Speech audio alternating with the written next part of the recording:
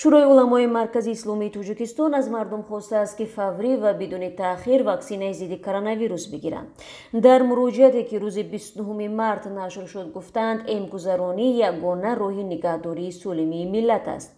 Дар тоҷикистон рӯзи 23 март эмгузаронӣ ба зидди коронавирус оғоз шуд. Барои ин кор кишвар 192 ҳазор воя ваксинаи астразинекаро дарёфт карда дар назар аст ваксинаҳои русӣ ва чинӣ бигирад шӯрои уламо ягона ниҳоди содиркунандаи фатво дар тоҷикистон бо хитоб ба мардум гуфтааст баҳри ҳифзи саломатии худ ва атрофиён ҳар як шахси ватандӯсту оқил дар навбати аввалшахсони калонсол бояд дар нуқтаҳои махсуси тиббӣ бетаъхир ва таъҷилан аз имгузаронӣ бигзаранд.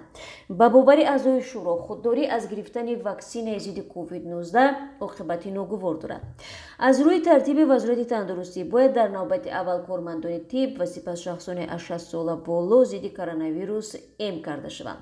Дар аксое ки дафтари матбуоти вазорати тандурустӣ нашр кард дида мешавад феълан асосан пизишкон ваксинаи зидди коронавирус мегиранд.